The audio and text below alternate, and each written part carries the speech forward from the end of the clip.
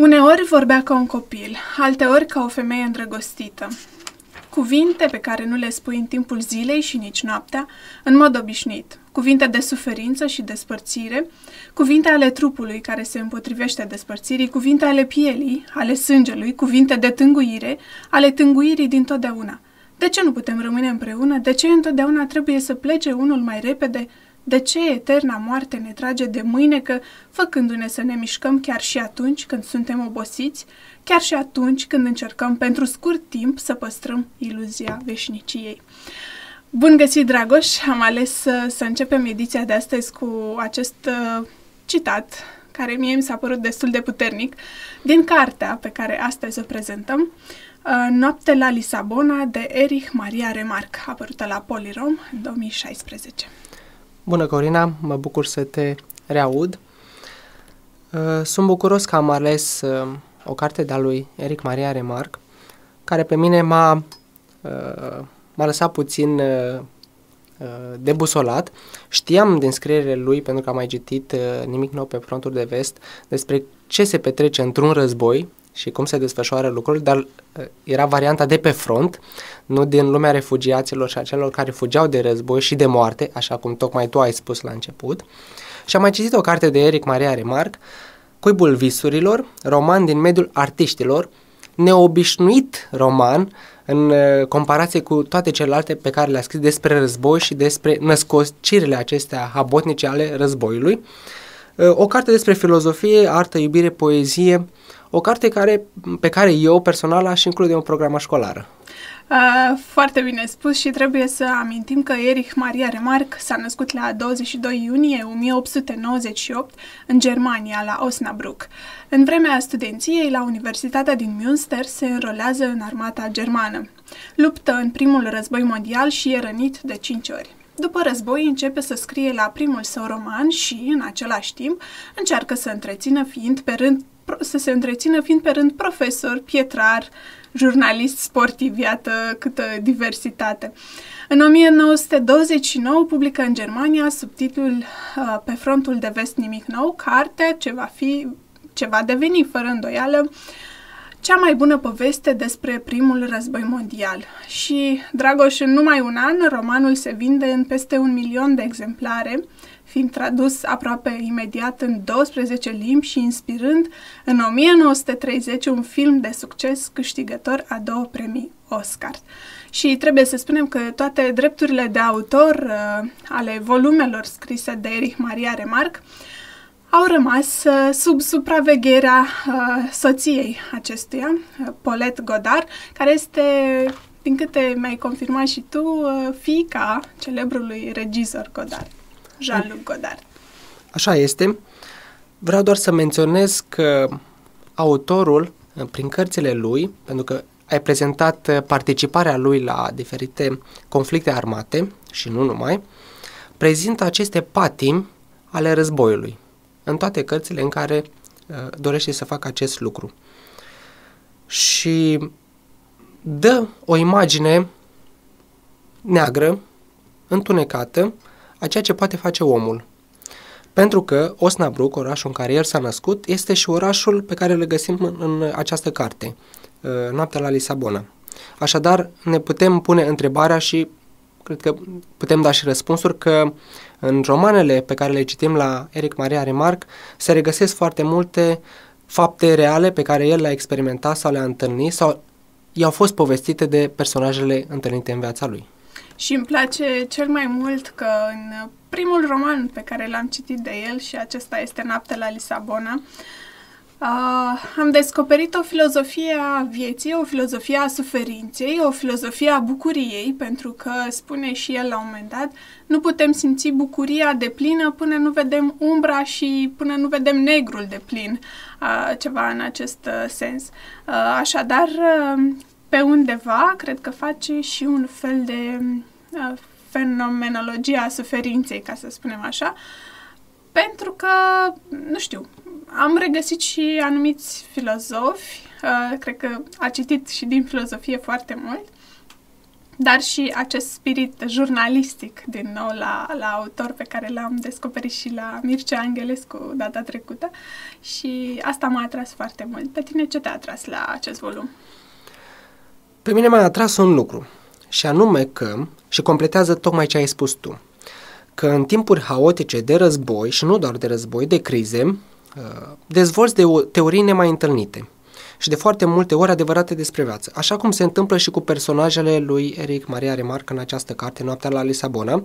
Și am să dau o citire pe parcursul emisiunii uh, câtorva pasaje unde am identificat aceste teorii dezvoltate de personajele autorului. Dar înainte să continuăm cu cartea autorului, uh, vreau să discutăm puțin despre un studiu pe care... Perfect, era și cazul. Așteptam acest moment din partea ta, te rog. E un studiu care spune că oamenii care citesc sunt mai longevivi.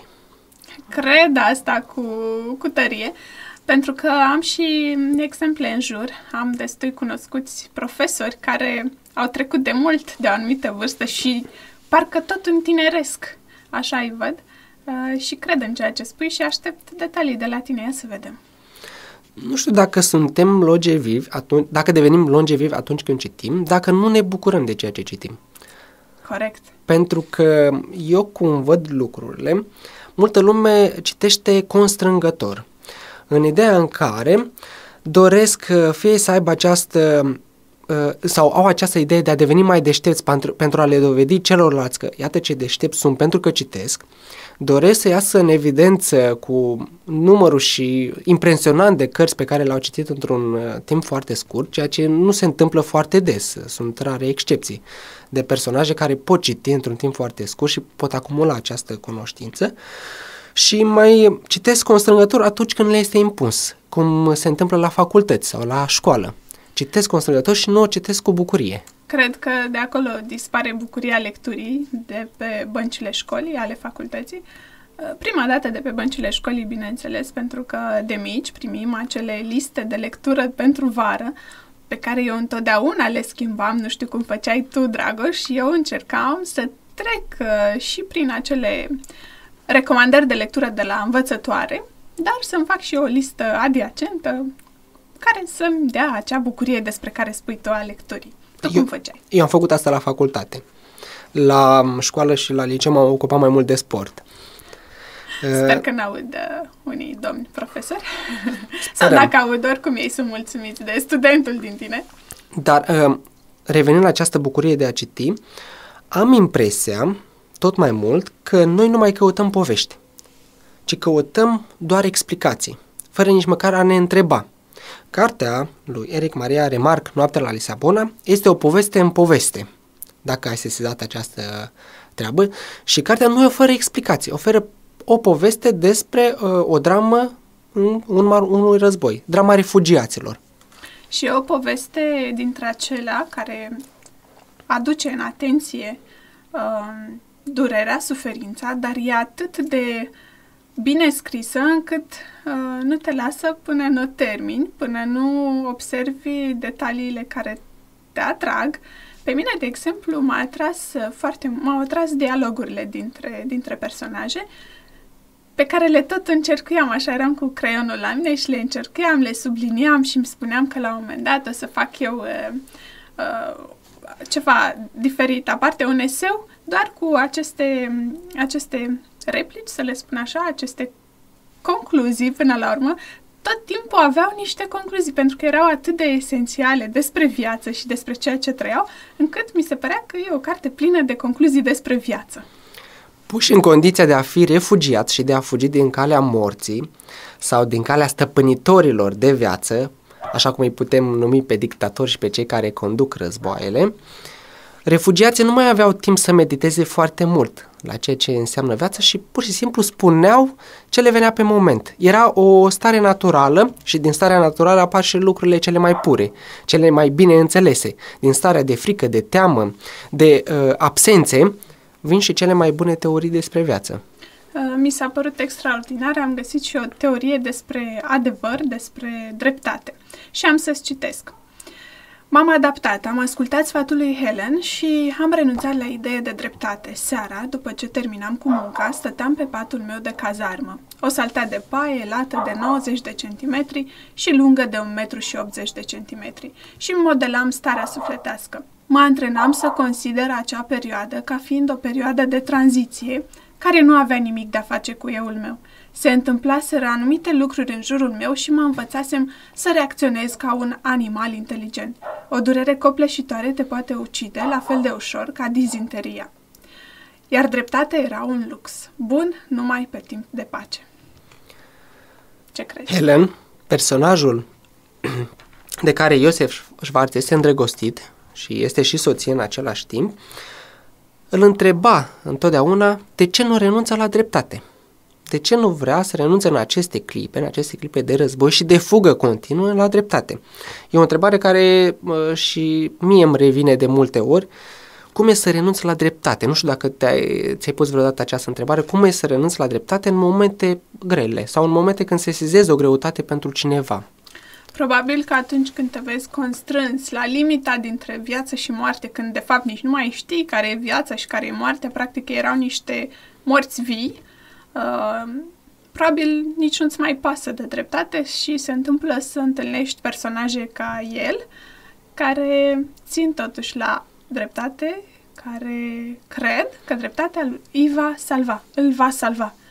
Pentru că, nu știu, chiar și în zilele noastre putem să ne uităm un pic la refugiații din toată lumea care încearcă să își găsească loc în Europa probabil că nici nu mai este caz să discutăm de dreptate la ei, pentru că e așa o nebuloasă în tot ce se întâmplă acolo și de unde vin ei și motivele pentru care ei pleacă din țara lor. Bine, primul este războiul, dar nimeni nu poate ști ce e acolo, cine a declanșat, cine menține războiul ăla ca să omoare atâta lume și să plece din locurile în care s-au născut, încât dreptatea apare a fi o banalitate. Te poți gândi la dreptate doar în momentul în care ai măcar un dram de putere în așa fel încât să schimb lucrurile. Dar în cazul refugiaților și a celor care fug de război, nu există această posibilitate.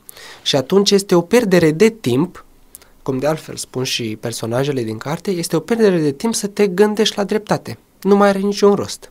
Îți dai seama că atunci când tânjești după un uh, pahar cu apă, după o bucată de pâine, după un ceai, Uh, nu-ți mai arde de dreptate și, cum scrie și în carte, totul ia proporții supranaturale, chiar și un colț de pâine ia o proporție supranaturală. Ce-ți mai arde ție atunci de dreptate? De... Cred că singurul lucru la care te gândești cu adevărat este pacea și pe care ți-l dorești din tot sufletul. Da, într-adevăr, despre pace poți discuta și, din nou, se, s-au dezvoltat o serie de teorii despre pace, tocmai în uh, momente conflictuale, de mare, conflict, de mare conflicte. Dar, apropo de refugiați, să știi că în uh, decursul istoriei omenirii au mai existat astfel de valuri de refugiați, așa cum s-a întâmplat recent uh, în Europa sau spre Europa. Și am să dau două exemple prin două cărți.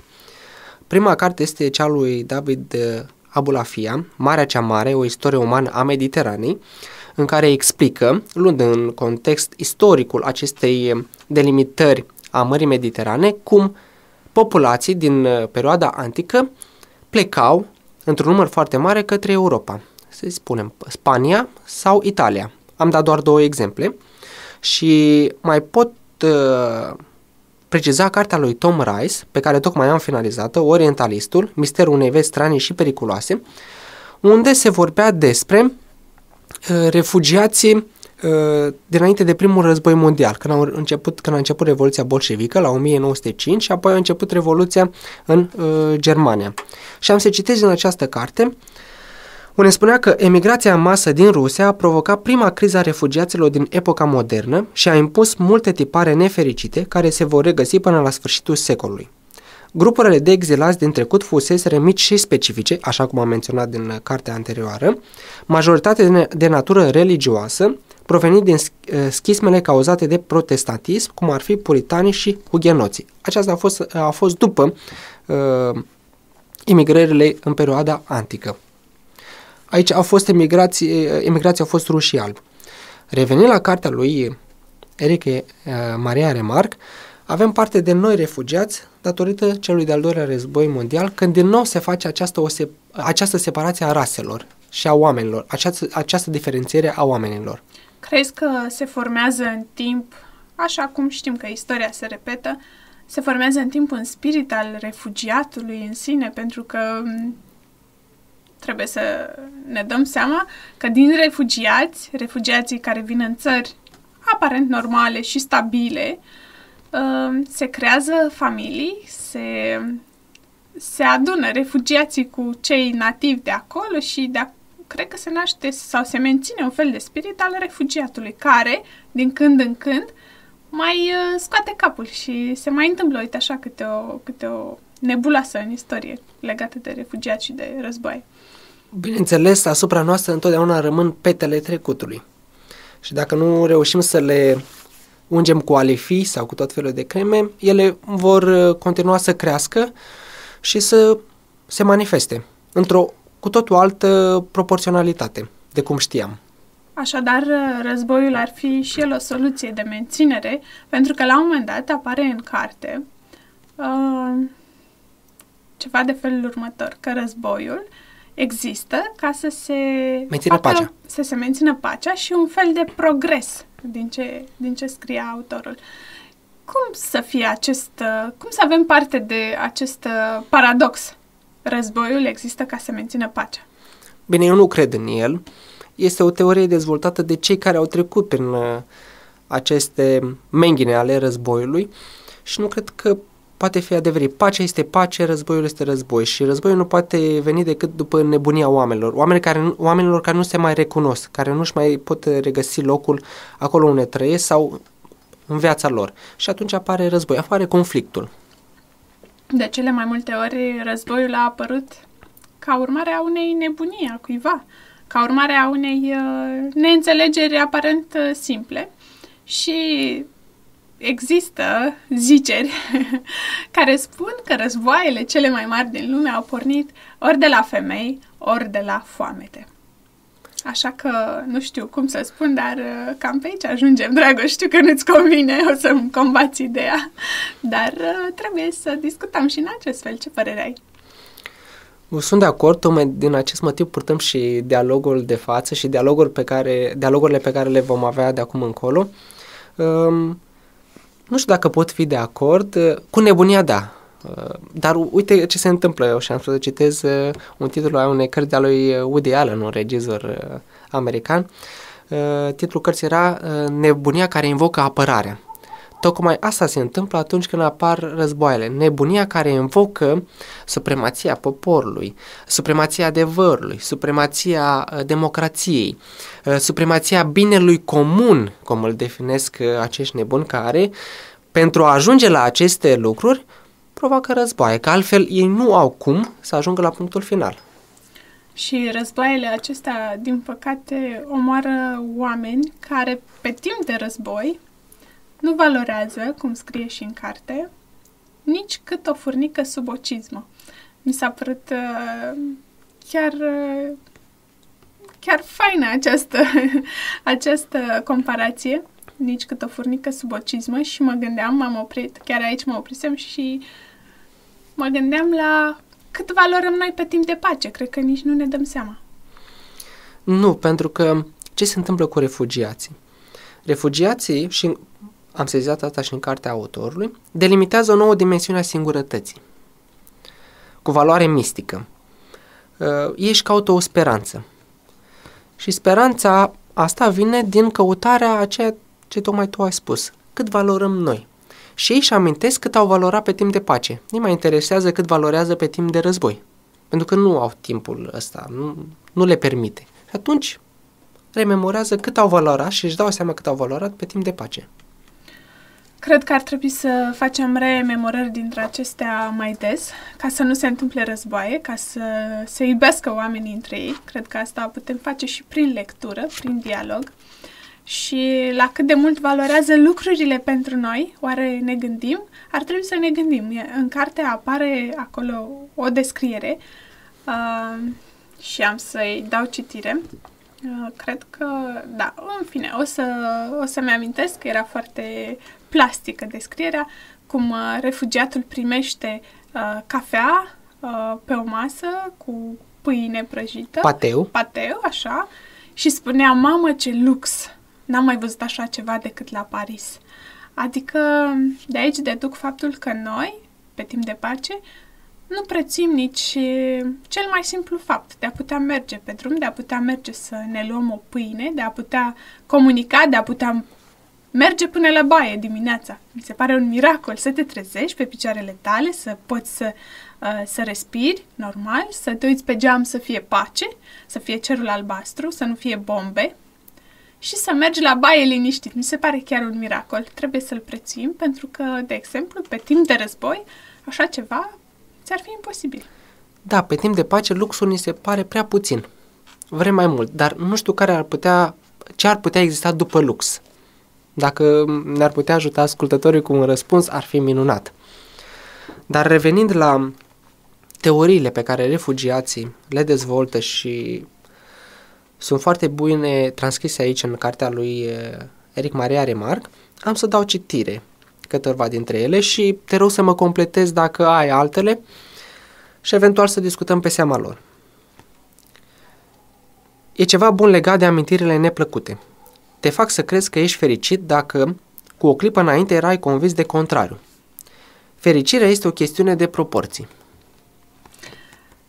Da, am ajuns cam, cam tot acolo, pentru că proporția este dată de împrejurări proporția bucuriei, proporția tristeții, pentru că la fel de trist ți se poate părea un om oare care suferă din dragoste pe timp de pace, așa cum îl vezi pe timp de război, pentru că și suferința din dragoste și războiul, deja proporția e, dacă nu dublă, triplă chiar. Ține foarte mult și de contexte și de circumstanțe. Dar faptul că tu, pe moment de criză, pe moment de bun augur, uh, de rău augur, uh, te gândești că trebuie să proporționezi fericirea, mi se pare uluitor. Când pe timp de pace poți găsi fericirea în fiecare moment, în fiecare nimic.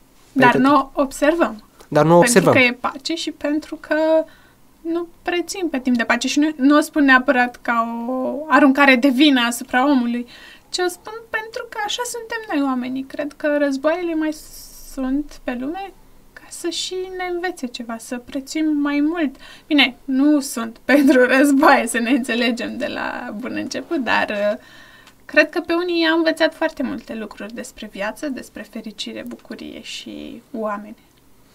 Apropo de fericire, nu știu unde am putea încădra cartea. Dacă este o poveste de dragoste, dacă este o poveste uh, despre război, uh, nu mi-am dat seama, pentru că putem să ne gândim, nu mai, nu mai vorbim despre o dra, uh, dragoste în vremea hol, uh, holerei, ci vorbim de dragoste în vremea holocaustului. Exact. Dacă e să ne gândim la cartea da, Noapte da. la Lisabona.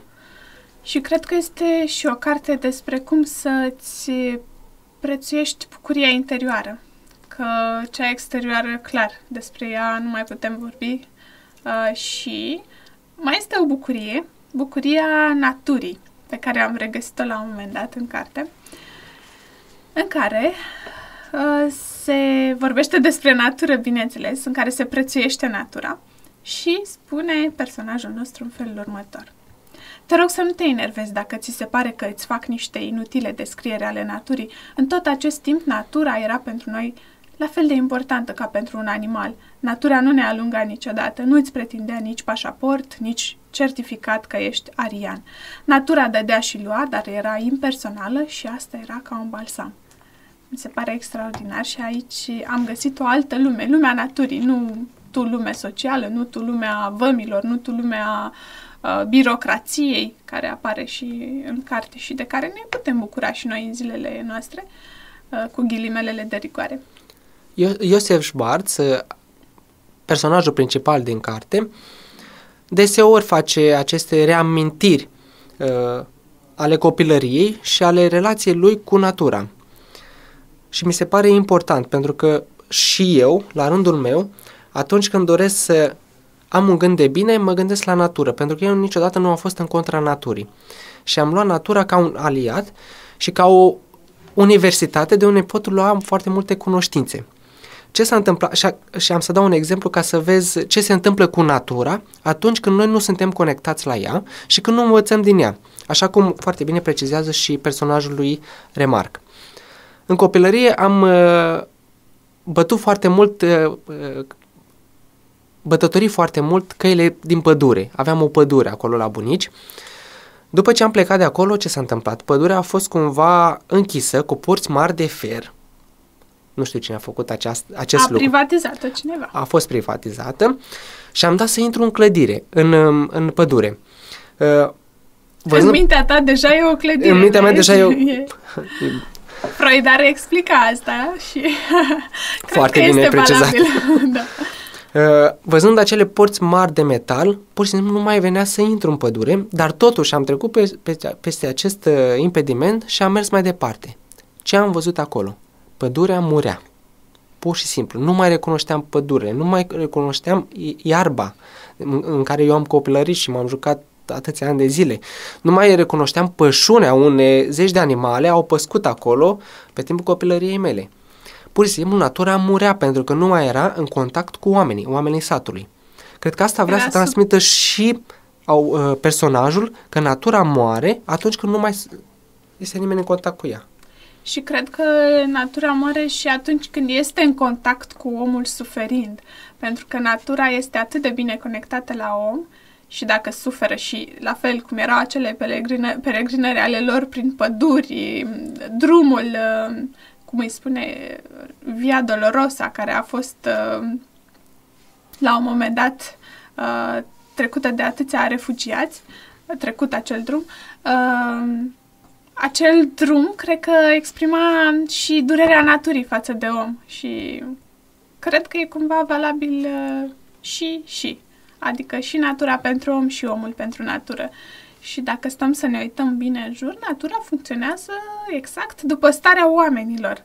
Pentru că dacă e instabilitate pe o zonă, într-o țară, e instabilitate socială, uh, spirituală, ai să vezi că în acel an uh, există și foarte multe tulburări ale naturii.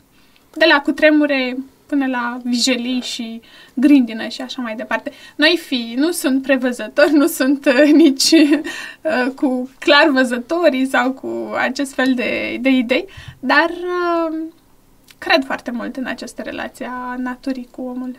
Corina, sunt convins că noi nu avem aceste teorii și nu am selecționat uh, textele din cartea lui Remarc despre natură și a relației omul cu, omului cu natura pentru că am fi ecologiști. Eu nu, nu, deloc. nu sunt ecologiști. Urăsc ecologiștii pentru că mi se par niște... Nu-i urăsc, de fapt. Nu sunt de acord cu această această, nu știu, afișare, afișare, da. afișare a faptului că sunt atât de ecologist încât uh, accept să fac bani din asta, îmi fac imagine și fac uh, niște companii prospere chiar la nivel mondial din afișarea faptului că sunt ecologist. Nu, nu așa ești ecologist. Ești ecologist natural, în strictă legătură dreaptă cu natura și cam, cam asta ar însemna în, în ideea mea să fii ecologist. Nu suntem și putem cu siguranță da exemple necontenite din societatea noastră, am și eu câteva. Uh, Tocmai de aceea am vrut să fac această precizare că nu ne poziționăm într-o uh, ideologie, ideologie a ecologismului. Merg mai departe și mai dau un citat din uh, carte. Am început de mult să mai glumesc. Atâta timp cât oamenii glumesc, micșorează proporțiile lucrurilor. Iată din nou am revenit la proporții. și de data aceasta e gluma. În gluma care îi ține în viață pe refugiați, pe oamenii uh, bătuți de soartă, îmi amintesc și dintr-o altă carte, Hoțul de cărți, care se întâmpla acțiunea tot în uh, vremuri de restriște, dar la, în, la cel de-al doilea război mondial, în care evreii sufereau foarte mult. Și acolo gluma, cântecul, buna dispoziție, i-a ținut pe oameni vii, chiar și când bombele explodau la 2 metri de ei.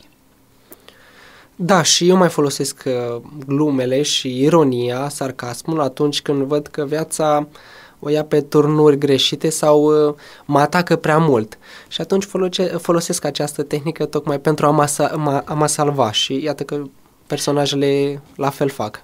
Și cred că este foarte bună și soluția de a face glume pe seama ta, să te autoironizezi. Cred că și asta te poate salva de multe ori și nu doar de la, de la suferința războiului sau altceva, dar chiar din situații aparent banale, situații simple. Mai pot da un exemplu care să susțină ce a spus personajul din carte. În perioada 1919-1932, când a fost Revoluția în uh, Germania, unde existau conflicte între naziști și comuniști, uh, în Berlin existau foarte multe cabarete care ironizau uh, personajele acestea apocaliptice, politice, economice, care nu vedeau binele în om decât în propria persoană. Și ironizau prin tot felul de spectacole care erau de-a dreptul uh, grandioase, fascinante. Eu am citit descrierile lor, nu am asistat la ele, bineînțeles, tot în cărți, tot uh, din cărți am regăsit uh, aceste explicații și aceste descrieri. Și toți oamenii buni, citiți, cu umor, profesori, se adunau acolo și asistau la aceste cabarete, cumva fiind propria lor revoluție asupra revol- uh, războiului care urma să vină. Uh, da, și uh, am ajuns încet, încet la sfârșitul discuției noastre despre cartea Noapte la Lisabona de Erich Maria Remarque, apărută la editura Polirom în 2016. Uh, și vreau să-ți citesc uh, ceva, Dragoș, de la pagina 137 mai exact. O vară este scurtă și viața este scurtă, dar de ce? Pentru că știm cât de scurte sunt. Știu pisicile astea de aici, că viața e scurtă. Știu poate păsările, știu fluturii. Pentru ei durează la nesfârșit. Nimeni nu le-a spus. Dar de ce ne s-a spus nouă? Completez tot cu un citat. L-am aici scris.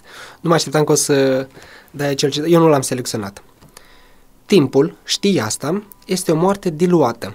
O travă administrată încet, în doze inofensive, la început ne stimulează și ne face chiar să ne simțim nemuritori. Dar picătură cu picătură și zi de zi se face tot mai puternică și în cele din urmă ne distruge sângele. Chiar dacă am vrea să ne răscumpărăm tinerețea cu prețul anilor pe care îi mai avem în față, nu am putea. Acedul timpului ne-a schimbat, combinația chimică nu mai este aceeași.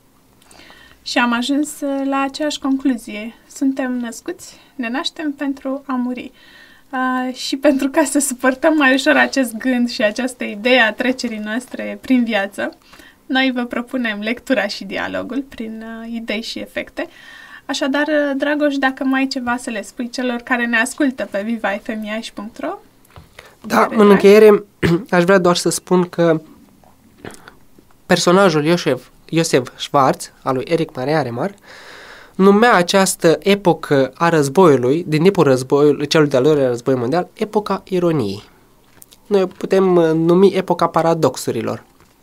Și mai mult, războaiele și crizele sociale sau economice, crizele politice, dau drumul unor birocrații dezlănțuite. Așa cum cititorii vor afla în această carte și vor vedea ce poate face o birocrație din, ce, poate, ce pot face birocrațiile din oameni care, așa cum spune și unul din personaje, formează un cerc vicios al nebuniei. Exact. Și ce poate face un om pentru un pașaport valabil? Toată această nebunie a birocrației am simțit-o și eu pe deplin, nu în aceste proporții, dar cât de cât foarte bine am simțit-o pe pielea mea venind din Basarabia în România și încă o simt în continuare, așadar trebuie să îmi fac o transcriere a certificatului de naștere, să mă nasc și aici așadar și înțeleg uh, foarte bine drama birocrației. Data viitoare uh, întâmpinăm uh, prietenii noștri de pe vivafemiaș.ro cu o carte scrisă de un român, de Bogdan Suceavă, care este și matematician la bază. Așadar, vorbim despre Republica. Republica este recomandarea ta, Corina, și mă bucur că ai făcut-o să vedem ce vom găsi acolo. Vom găsi și acolo politică, birocrație, revoluție și noutate. Sperăm că vor fi de bun augur pentru cititori și ascultători. Toate bune să aveți lecturi potrivite. Toate cele bune.